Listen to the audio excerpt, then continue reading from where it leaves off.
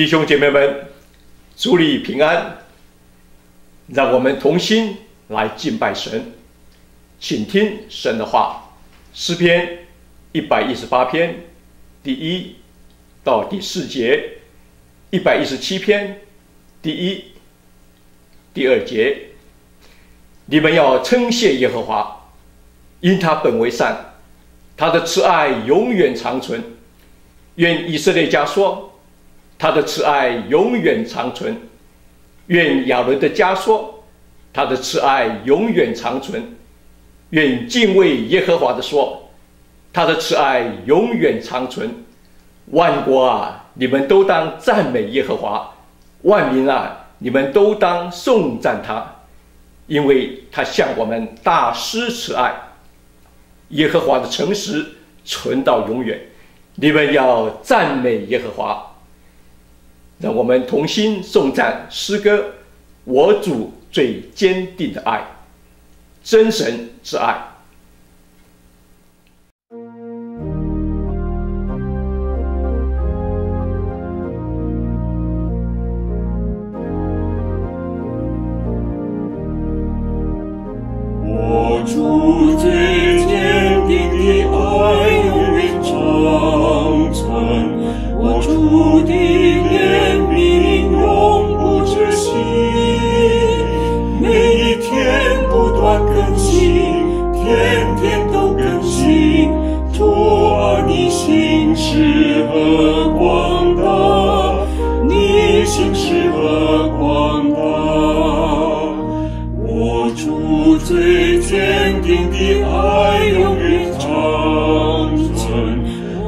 我主的怜悯永不止息，每一天不断更新，天天都更新，主啊，你心事。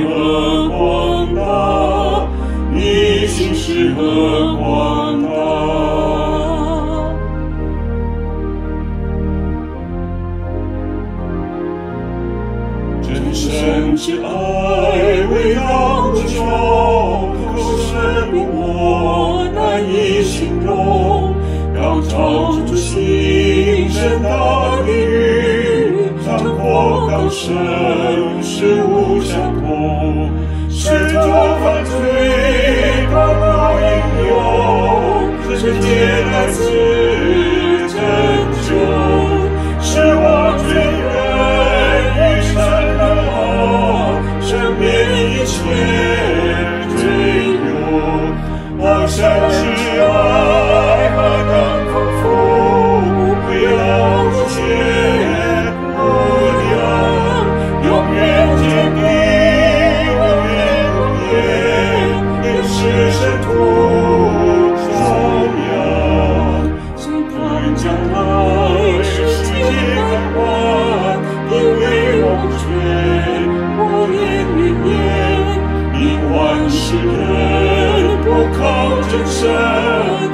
secular.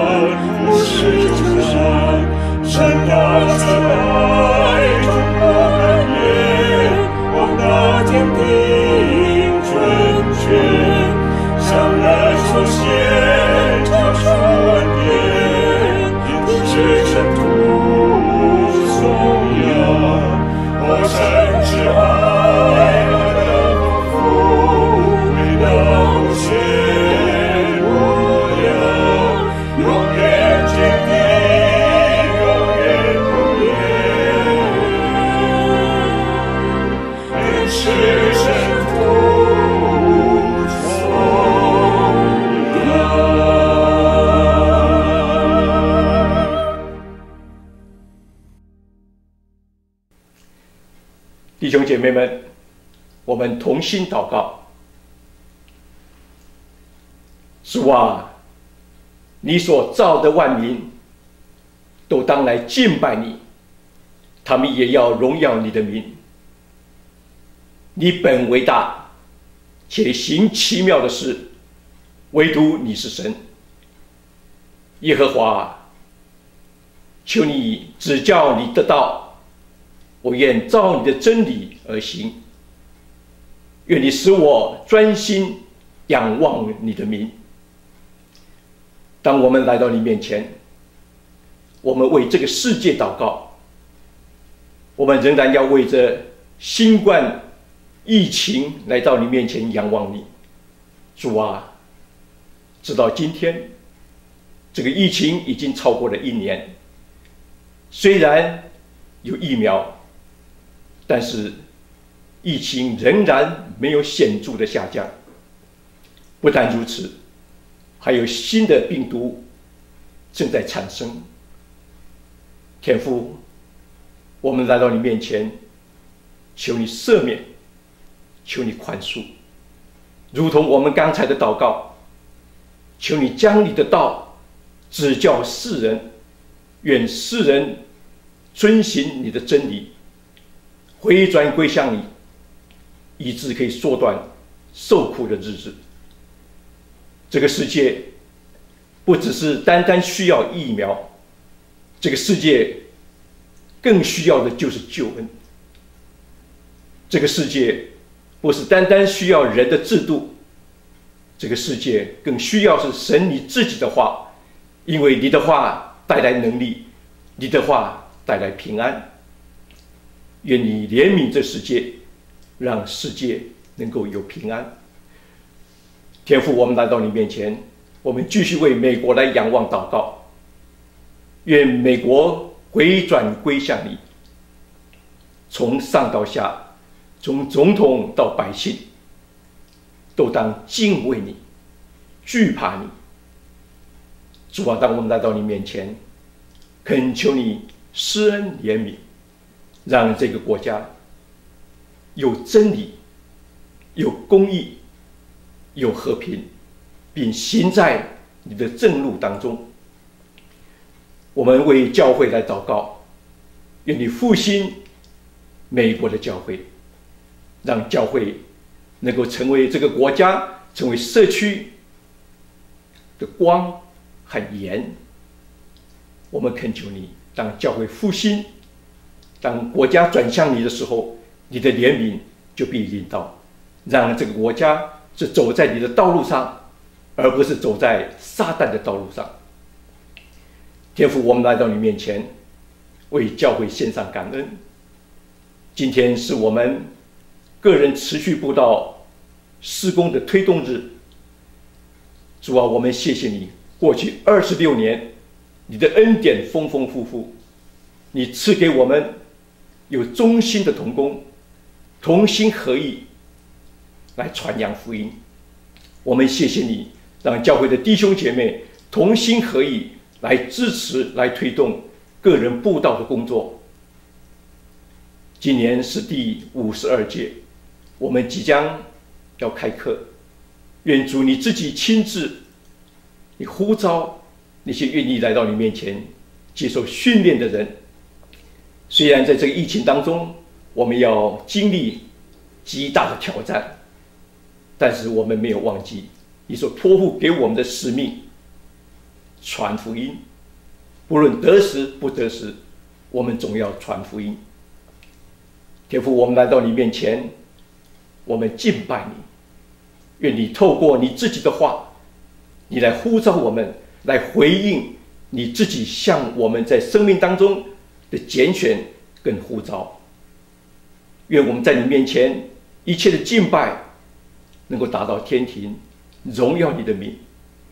今天不在我们当中的，身体软弱的，不论在疗养院的，在医院的，我们在这里同心纪念他们，愿圣灵与他们同在，一同悦纳我们在你面前的敬拜，荣耀归给你，感恩祷告奉耶稣基督名求，阿门。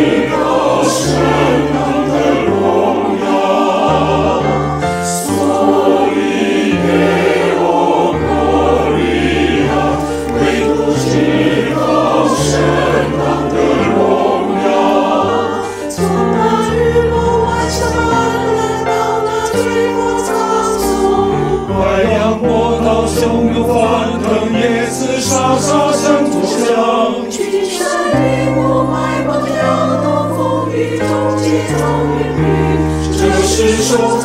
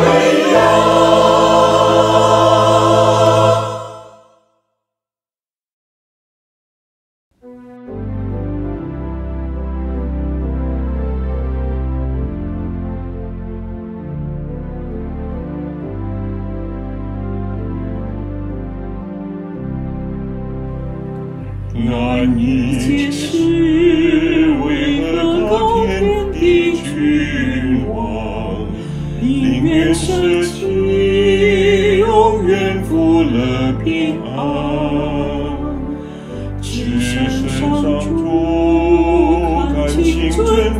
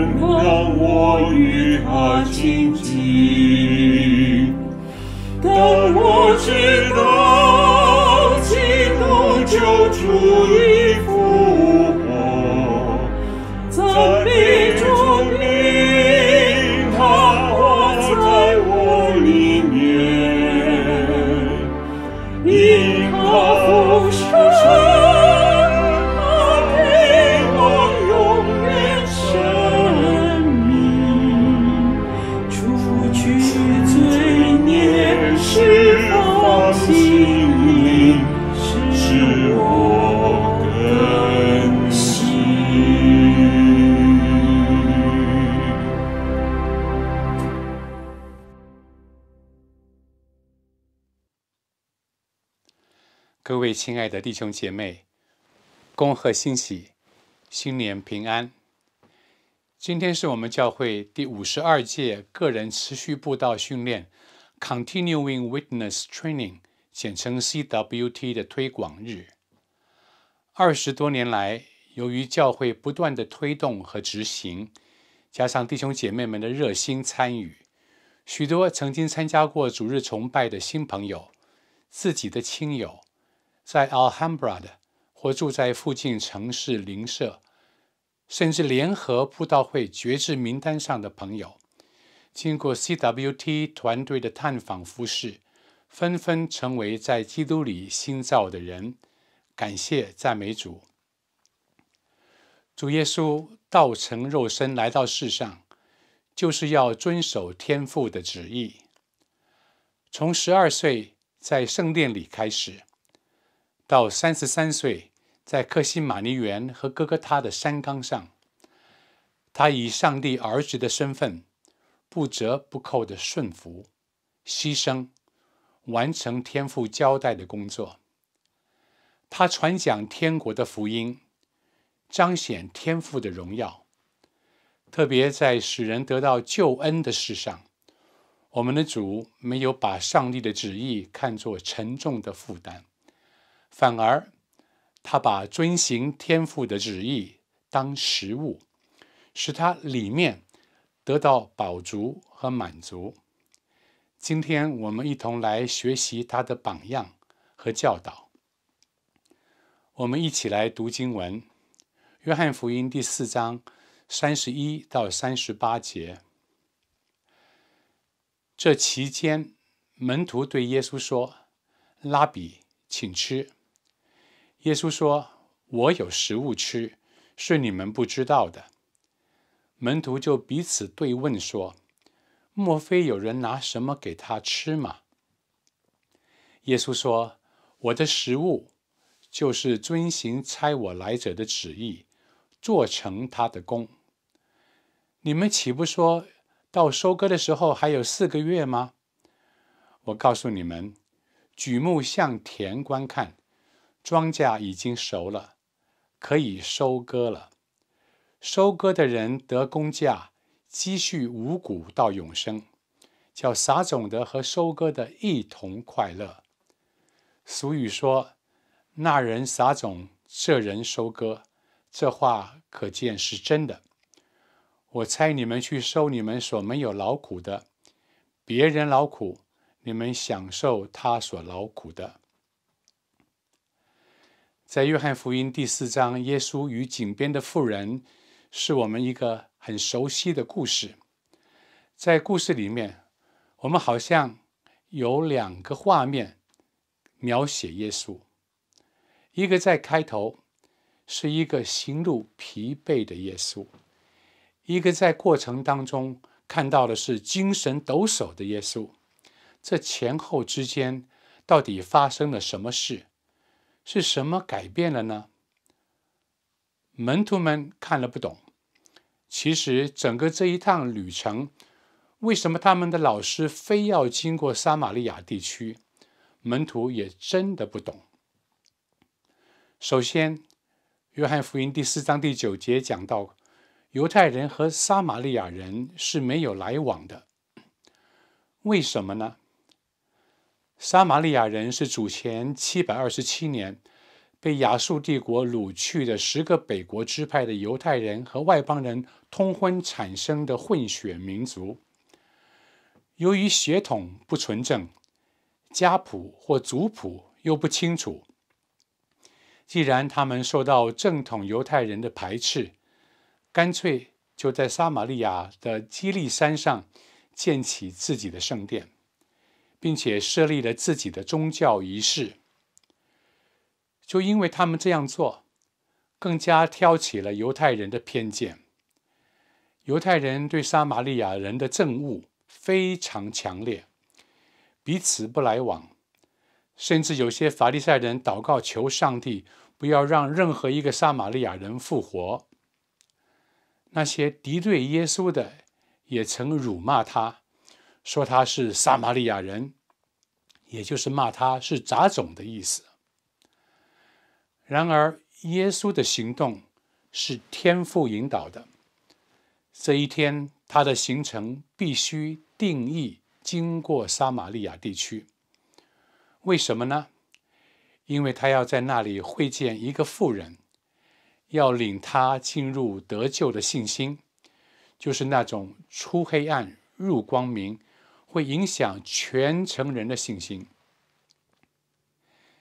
耶稣是在中午到达雅各井旁的。此时此刻，耶稣累了。门徒到附近的城里去买吃的去了，耶稣却留在井旁等候。这时候，一个撒玛利亚妇人带着她的水罐来了。当他走到井边打水的时候，发现耶稣坐在那里。当耶稣向他要水喝的时候，他说：“你是犹太人，怎么向我一个撒玛利亚女人要水喝呢？”耶稣回答他说：“你如果明白上帝的恩惠和现在对你说话的是谁，你早就会求他，他也早把活水赐给你了。”就这样，耶稣用水作为话题，撒玛利亚妇人就开始认识耶稣，不但是一位犹太人的拉比老师，更是先知，甚至他大胆的猜测，他是那将要来的救世主弥赛亚。耶稣也大大方方的说：“我就是，正在跟你说话呢。”紧接着。撒玛利亚妇人顾不得她的水罐子，转身就跑去告诉城里的人，她遇见弥赛亚了。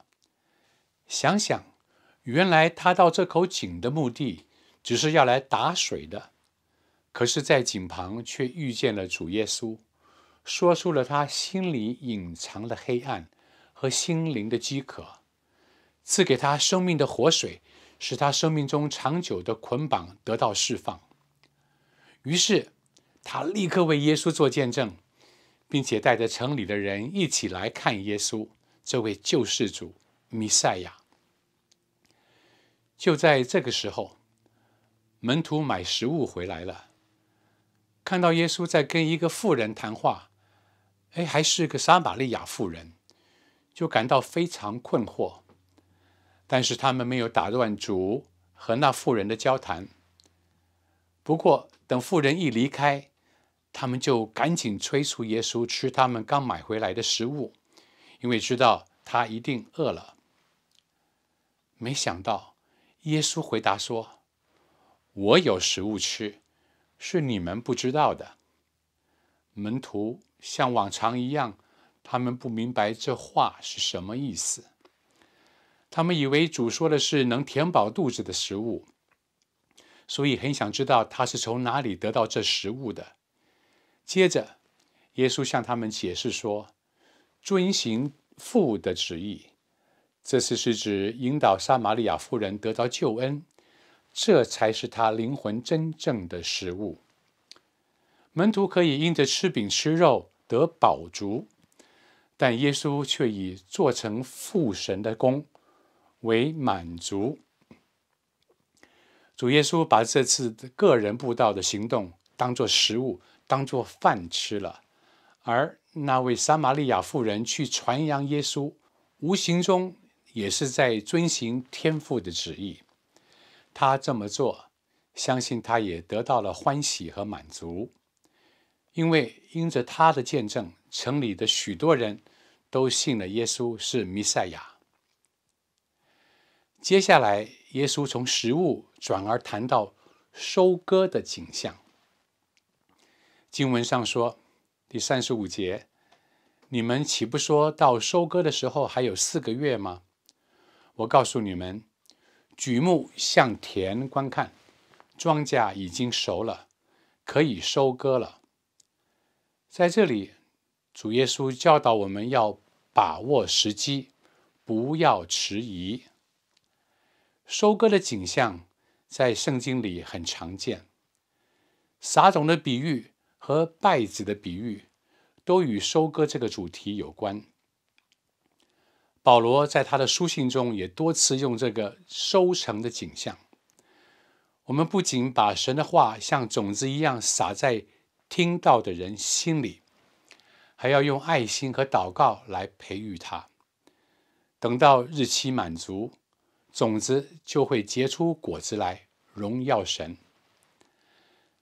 当门徒那天朝着撒玛利亚的这一个叙加城走过来的时候，他们心里很可能会说：“我们在这里绝不会有任何收成的。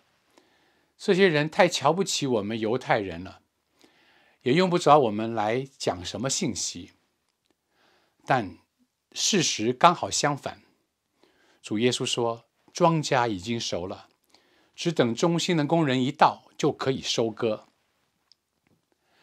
我们常常到了要为耶稣做见证的时候，特别是做个人布道的时候，总是找各样的理由做借口。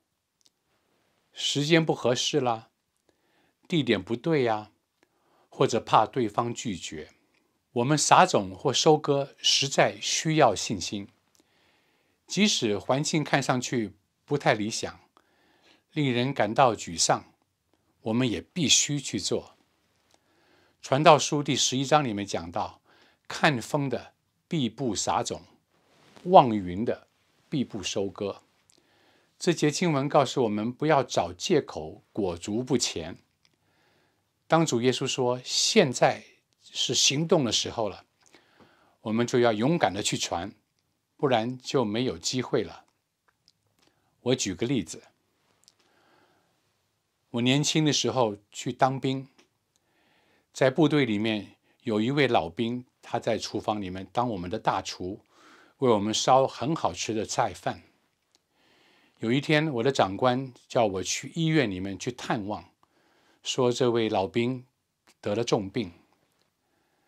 我在他床边跟他简单的交谈。他能微微的回答我，可是那时候心里面就有一个感动，就说向他传福音，向他传福音。我站在那儿许久，我心中惧怕，我不敢，心里想，等下次还有机会吧。结果不久，他就过世了，我心中极其难过，我跟上帝祷告。悔改，我说主啊，你给我机会，我立志，任何的机会，你感动我的时候，我一定不放过。最近几年里，在 Glendora 服侍，就有几次经验。有一天在我们聚会散会的时候，看到有一个年轻人站在门旁边对我微笑，我就过去，心里有感动，问他说：“你愿意？”认识耶稣吗？他点头。于是我们就坐在一个桌子边上。那个大房间里面，当时弟兄姐妹们正在预备午餐，声音还是蛮嘈杂的。可是跟他，我用福音四律一页一页的分享，最后他做了绝志祷告。还有一次，那一天下大雨，我在。一个商店的走廊那边站着，站在一个餐馆的门口。餐馆门开着，可是里面没有一个客人。老板坐在柜台那边，真的希望有生意上门。我心里面就有一个感动，给他传福音。于是我就进到餐馆里面坐下，跟老板说：“我想点一道菜。”点了，然后我说：“我能不能跟你分享耶稣？我是牧师。”他说：“好。”他就坐坐在我旁边，我用将近七分钟的时间跟他分享，也是用福音思律，他也做了绝志祷告，相信了耶稣。虽然桌上的菜来了凉了，可是我的心里面确实好暖和。或许你会说，现在的疫情拦阻了我们与人传福音、做见证的机会。以前我曾经分享过，在我们 Glendora 分堂里面有一位李执事，他就利用和国内一群年轻人用 Zoom 网络查经的机会来分享福音。这一小组当中，现在有一半的人以上都决志相信耶稣了，感谢主。然而，能有收获，一定有原因的。我们继续看经文。收割的人得工价，积蓄五谷到永生，叫撒种的和收割的一同快乐。俗语说：“那人撒种，这人收割。”这话可见是真的。我猜你们去收你们没有劳苦的，别人劳苦，你们享受他们所劳苦的。这里主耶稣看到被富人带来的人群，就引用了一句熟悉的俗语：“那人撒种。”这人收割，意思是告诉门徒，这个富人做了撒种的工作，那原本是你们该做的事儿。在主收割的禾场里面是没有竞争的，我们每个人都有神所分配的任务，也都在彼此的工作中有份。这个人撒种，那人收割，但个人要照自己所下的功夫得上帝的赏赐。主耶稣说：“我差你们去收你们没有劳苦的，别人劳苦，你们享受他们所劳苦的。”在这里，主耶稣清楚地表明，曾经有其他人在撒玛利亚地区劳苦做工，为这次的收割铺平道路。我们不知道这些忠心的工人是谁，其实也不必知道，因为神会亲自奖赏他们。或许有些撒玛利亚人曾经听过施洗约翰的讲道，或许约翰的门徒曾经到过这块福音的硬土。施洗约翰在靠近撒冷的埃嫩地方给人施洗。有些考古学家考证出来，那个地方就是圣经上所说的事件的附近，它离这个雅各井不远。如果是这样，那么，这个翻土、撒种的工作，就是施洗约翰做的；收庄稼的人就是耶稣和他的门徒。当然，撒玛利亚妇人向人做见证的时候，也撒了种子。主耶稣给门徒学习了一个宝贵的功课，这功课日后会成为他们侍奉的助力。他们不是孤军奋战的做主的工作，他们也不该把每个做见证的机会看成是时间和精力的浪费。耕田和撒种需要有信心，但神应许一定会有收成。几年之后，在《使徒行传》第八章里面记载，彼得和约翰就真的到撒玛利亚人的当中，再次去收割灵魂。没错。撒种的人可能看不见收成，但是收割的人会看到当初撒种人的工作，并且会感激撒种的人的忠心付出。我再举个例子：几年以前，我带着短宣队七个人到厄瓜多尔马恰拉的一个有华人居住的城市做短宣，在前后不到十天的日子里面。我们按照那福音中心给我们的地址名单，挨家挨户的去探访，前后加起来有十七个人绝志。我们自己也很惊讶，怎么有一个大丰收？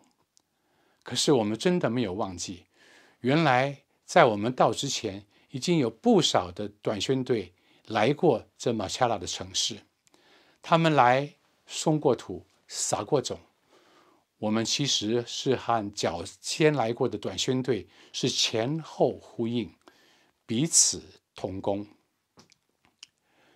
最后，从人看来，这一天耶稣应当是累了，又饥又渴，但是他遵行天父的旨意，完成天父的工作，他心里就充满喜乐与满足。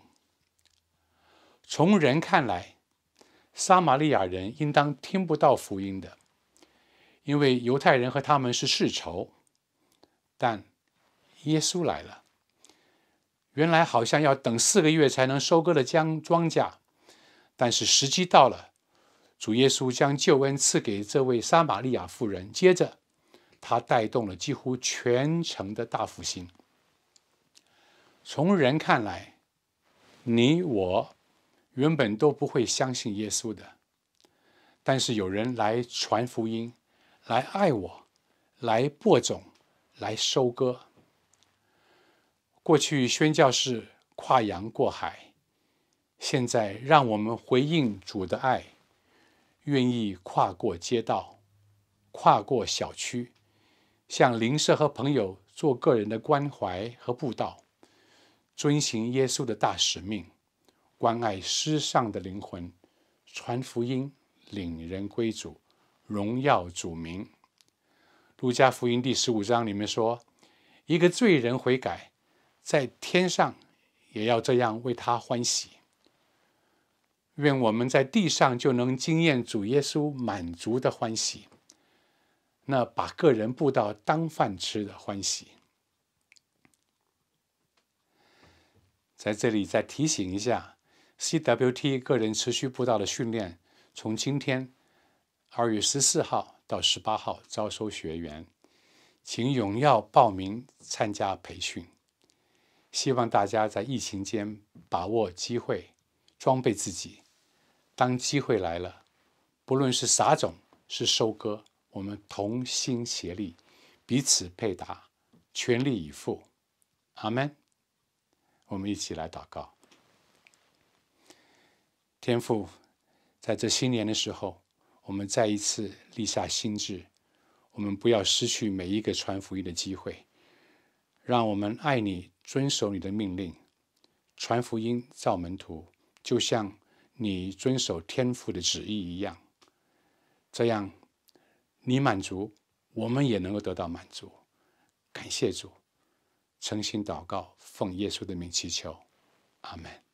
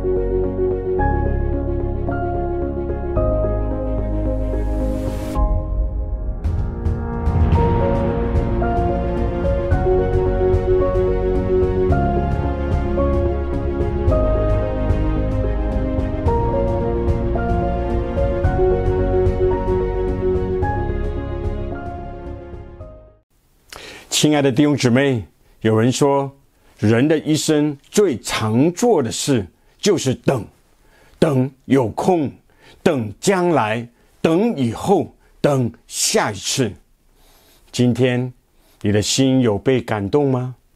心中的感动是不是应该要化为行动呢？二十五年来，教会没有停止过这一连两次的 CWT 个人持续步道的训练。或许每一次你都告诉自己，等下一次吧。现今因为疫情的缘故，你可以足不出户，安坐家中，透过网络接受如此完整的一个传福音装备，这么好的一个个人步道的训练，你还在等什么呢？希望你能够把握良机，抓住这个机会。你现在可以立刻的拨打电话给孙庭学执事报名或者是查询，电话号码是六二六八二三五八二九六二六八二三五八二九，直接的来向孙庭学执事来查询或者是报名。今天的信息或许也让让你想起了。还没有信主的一个家人或者一位朋友，让我们从祷告开始，将这一些还没信主的亲友带到神的面前。我们当中有没有一些的慕道朋友？今天的信息感动了你？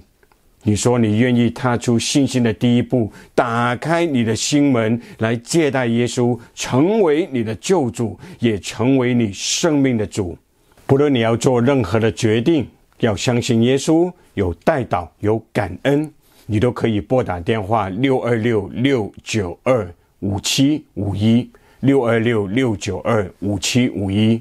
教牧同工非常愿意的来聆听你的分享。乐意的与你分担你所面对的困难。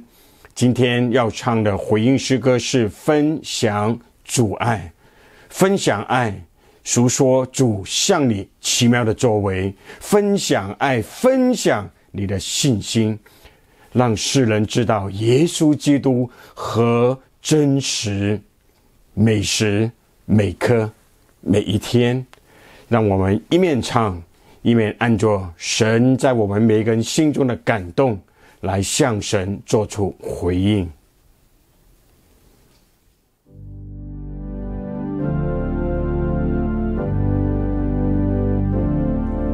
真神慈爱超过万有无尽中长，胜过宽广无边的山海洋。主爱领导我们，带来丰富生命，因真神爱世人，赐下他独生子。分享爱，诉说主向你奇妙的作为。分享爱，分享你的信心，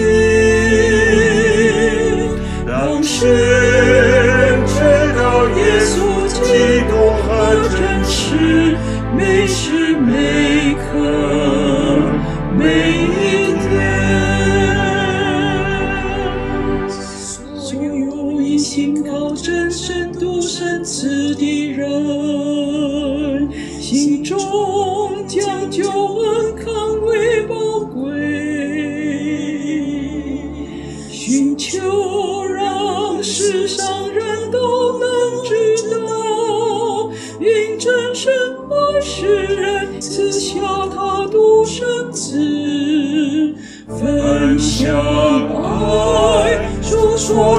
主向你奇妙的作为。分享爱，分享你的信心，让世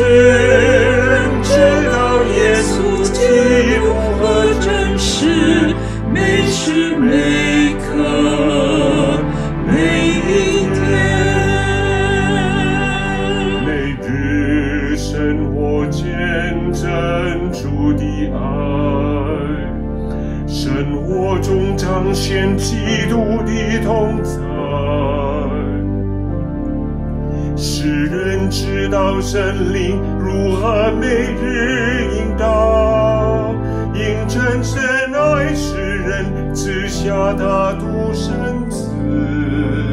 分享爱，诉说主向你奇妙的作为。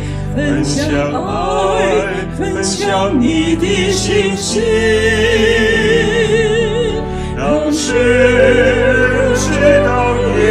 耶稣基如何真实，每时每刻，每一天。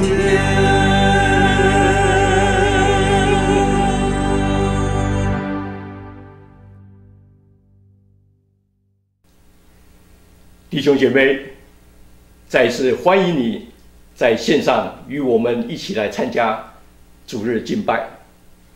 今天是大年初三，仅在这里代表教牧同工，向弟兄姐妹恭贺新春，身体健康，灵命丰沛，家庭平安，福杯满溢。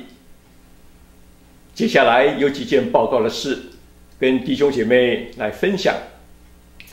根据洛杉矶县公共卫生局的指示，从一月二十五号起，洛杉矶县已经开始进入了工作与社区更安全的重新开放。虽然是有限度的开放，但是教会的办公室到目前为止还没有对外开放。一切要重启的计划仍然在进行当中。我们要依照政府的规定而来决定什么时候能够重启，请弟兄姐妹继续持续为这件事情来关心跟祷告。第五十二届个人持续布道训练，我们即将在二月二十五号开课。从现在开始，你可以来参加，你可以来报名。个人持续布道训练。就是遵行耶稣的大使命，广传福音，领人归主，荣耀主的名。盼望还没有受过训练的弟兄姐妹，你赶紧来参加这个训练。在这样的疫情当中，人们最需要的是听见福音。如果你有兴趣，请联络孙庭学执事，电话是六二六八二三五八。二九，今天下午有国语堂诗班在年初三举办团拜，所以在这个地方特别邀请，如果你过去曾经是诗班的班员，或是你想参加诗班的服饰，盼望你今天下午能够跟着诗班一起来参加这个庆贺会。透过诗歌分享庆贺新春，时间就是在今天下午一点半。透过 Zoom 的这个平台，我们要欢聚。Zoom 的这个平台的资讯，请观看荧幕上面。欢迎你们一起来参加。诗班在每个礼拜五晚上七点半，还有每个礼拜天下午一点半都有练习。欢迎弟兄姐妹来参加。如果你对诗班，的服饰有负担，你可以联络杨显基传道，他的联络的电邮也在荧幕上面。三月份活泼的生命将从本周开始，透过小组跟团契发送给弟兄姐妹，照往常的发送方式一样。在这段期间，如果你有任何的需要，或是有带到的事项，请打电话六二六六九二五七五一，或是电邮到教会 info at mbcla.org，教牧同工会尽快与你来联络。请我们一起起立，唱三一颂之后，接受从神来的祝福。